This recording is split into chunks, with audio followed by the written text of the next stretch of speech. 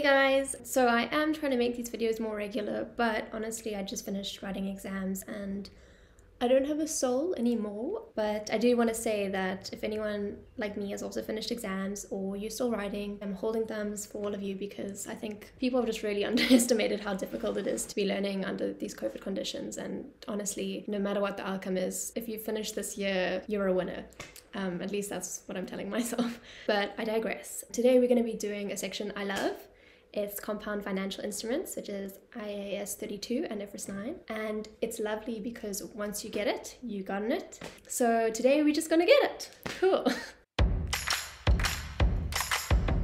Awesome sauce. So before we look at compound financial instruments, let's just discuss a financial instrument. And what a financial instrument is, is defined in IAS 32 paragraph 11, and it is a contract that gives rise to a financial asset in one entity and a financial liability or equity instrument in another entity. And you can think of it like a bank. When a bank loans us money, that is obviously a liability to us because we owe them payments and interest, whereas the bank is receiving those payments and interest, so it's an asset to them. But in the case of compound financial instruments, as the name suggests, we've got both a liability component and an equity component. And this must be assessed at the inception of the contract, i.e., am I dealing with a liability, equity component, or both? For the interest portion, am I dealing with the liability, equity, or both component for the capital portion. And the most common example of this would be a convertible instrument. So, for example, where you, as the issuer, give the holder of the compound financial instrument or CFI the option either to redeem this financial instrument for cash or for a certain amount of shares at redemption date. So, you can see because there's an option either to receive cash or shares, and you, as the entity, are most likely making regular coupon payments, both a liability and an equity component exist. In some cases, the entity who issues these financial instruments can make the decision whether they want the holders of the financial instruments to either receive cash or to receive shares, and this will just affect the present value inputs, but we'll get into that now. The gist of recognizing a compound financial instrument at inception is that firstly, we're recognizing a liability component, and secondly, we're recognizing an equity component. This equity component is referred to as your compound financial instrument reserve, E. And so this is where the fun part begins. So let's go through step one. Okay, the first step is super fun, nice and easy. We are calculating the present value of our liability component. So I'm going to give us an example. Let's say we issue a convertible loan for 100,000 Rand par value that is redeemable in five years' time and maybe our coupon payments are at 5% and at the end of the 5 years the holders have the option either receive in cash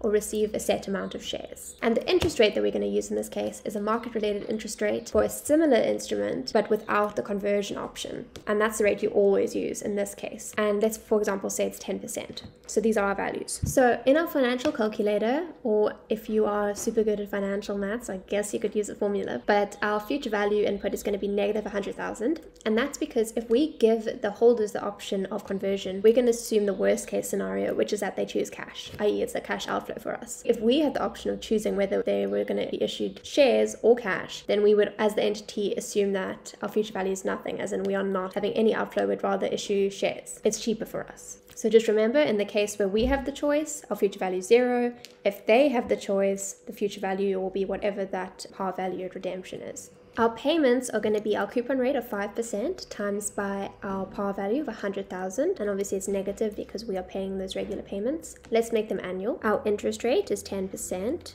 as I said, it's the interest rate for a similar instrument without the conversion option. And our N, or our number of payment periods, is 5. And remember that it's not number of years, it refers to the number of payments, and because there are 5 annual payments, it's 5. Therefore, we plug that into our financial calculator, we get our present value to be and the next step is to calculate our equity component, which is super easy because we know our accounting equation as being assets equals equity plus liabilities, right? What we're looking for is our equity component. So if we rearrange this equation, we get that equity is equal to our assets minus liabilities. So in this case, our asset is 100,000 Rand because what we've received when we've issued these debentures is that we're receiving 100,000 Rand into our bank, which as we know is an asset. And then our liability component we've just worked out is the present value of 81,046 Rand.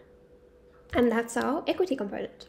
And so our journal entry is going to be super easy and awesome. We're going to debit our bank because we're receiving 100,000 Rand when we issue, and then a credit to our liability and our equity components. And as always, with anything in financial accounting, you have to keep in mind deferred tax consequences. So, when we think about deferred tax, we've always got in mind what our carrying amount is in accounting, what our tax base is, in tax, and therefore what our temporary difference is. So in this case, our carrying amount of our liability is what we calculated to be the 81,046, right? That's how much our liabilities were. But our tax base will be 100,000 Rand, and that's because although we will ultimately get Section 24J interest implications for tax, right? This hasn't happened yet at inception. Therefore, we have a deductible temporary difference of 18,954, which we will note is the equity component. And that's because the additional recognition of the equity component in our accounting gave rise to this temporary difference. So therefore, our deferred tax is going to be the equity component or the temporary difference multiplied by 28% or whatever your tax rate is.